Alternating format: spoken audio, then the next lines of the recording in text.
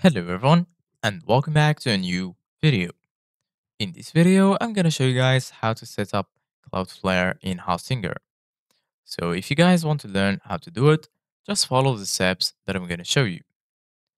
As you can see guys, I am right now in support.hostinger.com when I found a guide that perfectly explains how to use Cloudflare on Hostinger. Enable Cloudflare for free and protect your domain.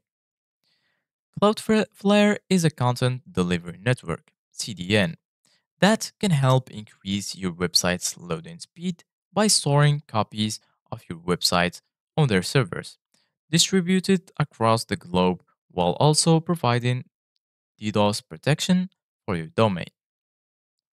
If you want to start using Cloudflare with your domain, follow the steps below. It is recommended to have only one CDN enabled at a time. If you're currently using a different CDN, such as Hostinger CDN, make sure to disable it before activating Cloudflare. Firstly, create an account on cloudflare.com. Click on Add Site and enter your domain name to add it to Cloudflare.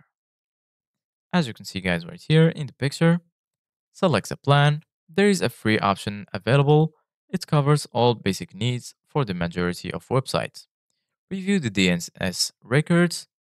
Cloudflare will automatically import as much of your current configuration as possible and indicate if any issue is encountered.